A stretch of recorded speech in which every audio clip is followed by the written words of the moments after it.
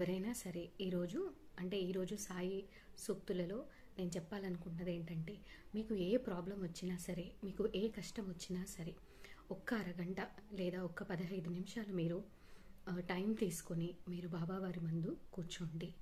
అంటే ప్రాబ్లమ్స్ వచ్చినప్పుడు అవి సాల్వ్ చేసుకుంటూ ఉంటాం కదా బిజీగా ఉంటాము.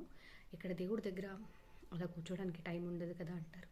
కానీ తీసుకోండి. ఒక్క ఐదు నిమిషాలు లేదా మీరు ఒక్క ఐదు నిమిషాలు కళ్ళు మూసుకొని ఆయనను ప్రార్థించినా సరే మీకు కంపల్సరిగా మీరు చేయాలనుకున్నటువంటి నెక్స్ట్ మూవ్ ఏంటి?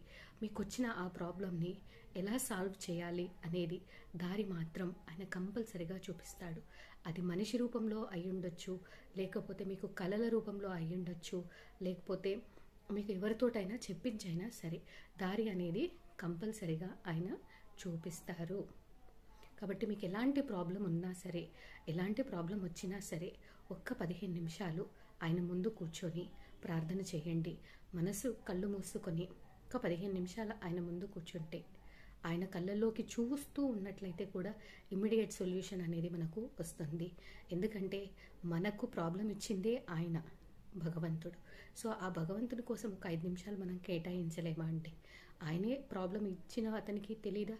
మనకి ఏ ఏ విధంగా అయితే మనకి ప్రాబ్లం సాల్వ్ అవుతుంది అనేది?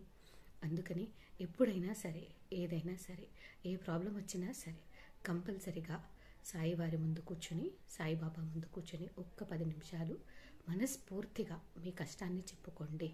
మీకు కంపల్సరిగా దారి అనేది తెలుస్తుంది.